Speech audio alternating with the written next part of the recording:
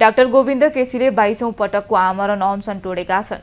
पशुपति क्षेत्रको मृगस्थलीमा अनसन बसेको छैठौँ दिनमा द्वन्द पीडितहरू भानु प्रताप शाह उज्जवल कुमार श्रेष्ठ र सावित्री श्रेष्ठको हातबाट जुस खाएर अनसन तोडेका हुन्। डाक्टरहरूले स्वास्थ्य अवस्था क्रिटिकल हुँदै गएको औँल्याएसँगै केसीले अनसन तोडेका हुन्। द्वन्द्व सशक्त द्वन्द्वकालको विवश स्वरूप मैले देखेको छु।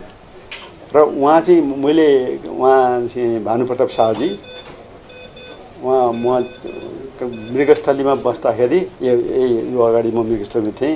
यही के अरे यही के अरे सत्याग्रहको लागि उहाँ त्यहाँ आएर आउनुभयो। मलाई त चिने पनि थिएन अनि उहाँले भन्नुभयो डाक्टर साहब मलाई चिन्नु भएन। म तपाईँले दुईचोटि अपरेसन गर्नुभएको भनेर हुनुहुन्थ्यो।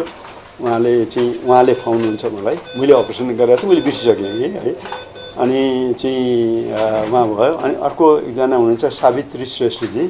उहाँ पीडित डाक्टर केसीका अनसनमा सशस्त्र द्वन्द्वकालका पीडितलाई न्याय दिनुपर्ने भन्दै प्रधानमन्त्री एवं माओवादी अध्यक्ष पुष्पकमल दाहालको तत्काल राजीनामाको माग थियो। सबै नेपालीलाई निशुल्क औषधि उपचारको व्यवस्था गर्नुपर्ने यसअघि गेटा स्वास्थ्य विज्ञान प्रतिष्ठान सञ्चालन गर्ने विषयमा भएका सम्झौता कार्यान्वयन गर्नुपर्ने सशस्त्र द्वन्द्वकालका पीडितलाई न्याय दिनुपर्ने कार्के आयोगले दोषी ठहराएका व्यक्तिलाई कारवाही गर्नुपर्ने थप चार बुधे माग राखेर अनसनमा बस्नु भएको थियो।